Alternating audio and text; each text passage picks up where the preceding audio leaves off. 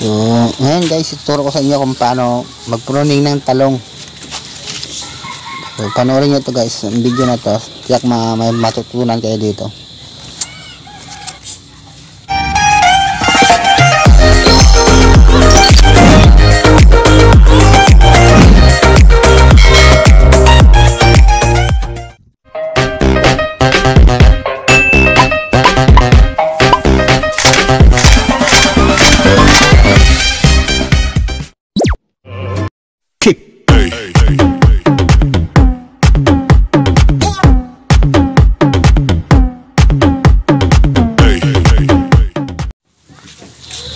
Hanggang araw sa inyo guys. So, tuturo ko sa inyo kung paano mag-pruning ng talong.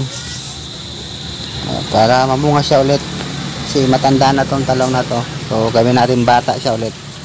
So, tara guys.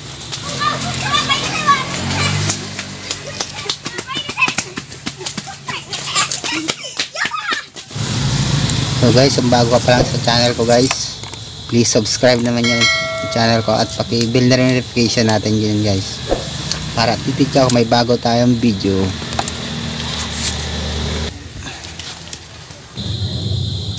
Ngayon so sisimulan na natin ang pag-pruning. Tuturo ko sa inyo kung paano.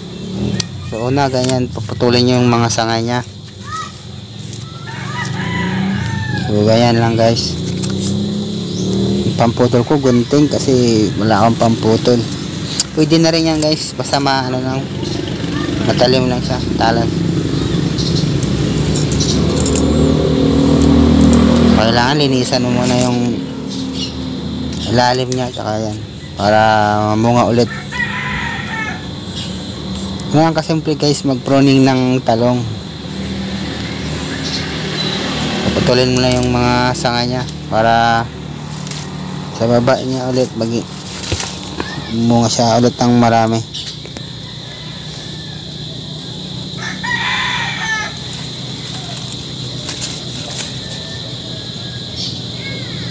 ganyan lang siya guys oh.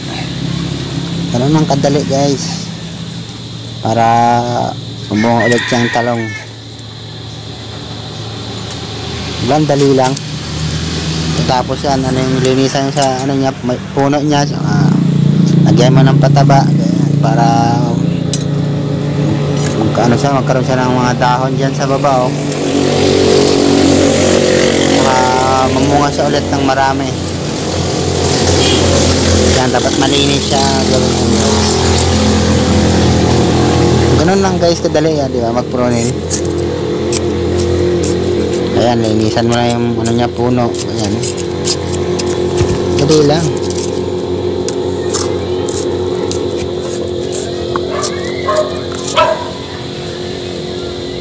Ayan, nakikita nyo. Ganun lang kadali guys. Madali lang, simple lang. Ganun lang kasimple. Guys, salamat sa panonood nyo.